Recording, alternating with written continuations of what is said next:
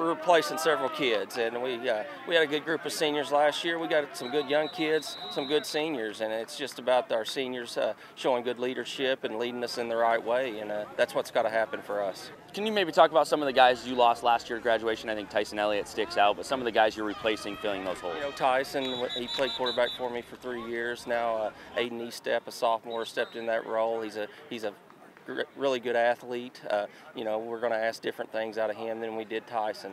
Uh, Hunter Means, we lost him on the offensive line, so we're trying to replace him with a couple different people. So it's it's been a real uh, challenge at uh, in practice. You know, competition's been high. Uh, a lot of people uh, working for jobs.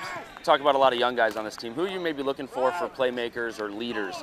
Well, you know, you got to look back at our our seniors. You know.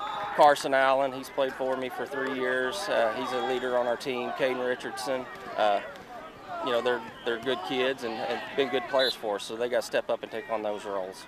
Uh, next few weeks before the season starts, uh, what's it look like for your team? What are you guys working on and uh, getting ready for that first game? Well, we're, we're getting ready to go into dead week, and we'll come back out and uh, you know, we just gotta we gotta focus on the little things and what we do right. Uh, you know, we had to replace Hall and Glenn and Drew Vaughn, two good receivers. So our receiving corps, we're uh, we're looking at them pretty hard. We got about five kids uh, competing for jobs there.